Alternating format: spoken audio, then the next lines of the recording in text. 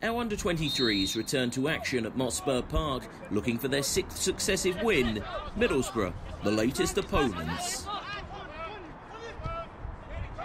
Fulham made the perfect start and took the lead just seven minutes in. Ziyad Larkeche's pinpoint cross was nodded home by Terry Ablade for his sixth goal of the campaign.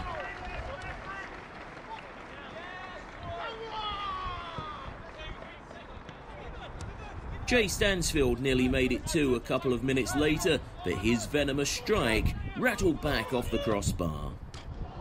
Somehow, the visitors didn't level the scoring as we approached the half hour mark. Terence Kongolo's stray pass was pounced upon, and Boro's Pharrell Willis struck the post from close range when he should have done better.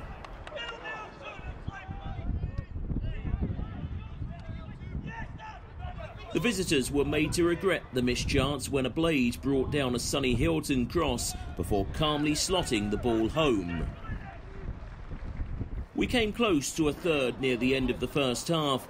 Kieron Bowie's powerful effort was well saved. It finished Fulham 2, Middlesbrough nil.